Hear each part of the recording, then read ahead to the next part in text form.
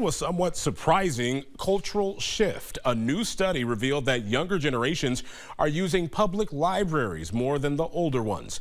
TV6's Wafa Ezzat shows us this trend from the local perspective. I think that transcends generation. I think it's just people love to connect over a story.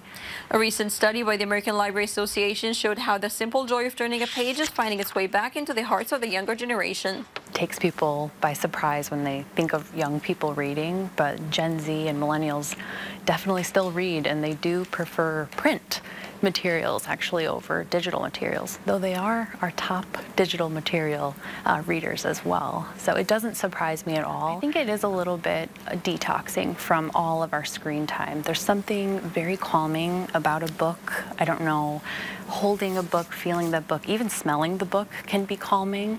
Um, and we're just so stimulated all day.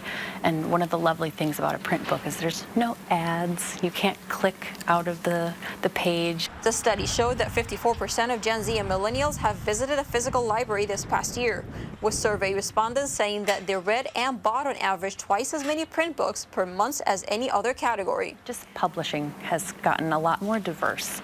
The romance collection itself, the romance um, genre itself, is just really diverse and rich and colorful. There is just a little corner of that um, genre for everyone, and I think that's permeating generations for sure.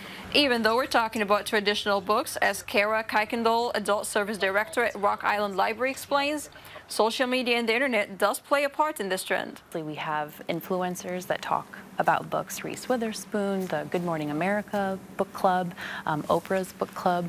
Those translate into um, people reading that story. So I think that helps. Another big thing is BookTok. Um, the, these younger generations, they use Instagram and TikTok to find their next book, and often they use YouTube as well. Um, so they're taking these suggestions from people that they trust. The study also noted that young library goers sample their books before making a purchase. Even an inexpensive book on Amazon can cost $15, um, and it's nice to save that $15 by checking it out at the library first and seeing if it's the right one for you. In Rock Island, Wafa Ezzat, TV6 News.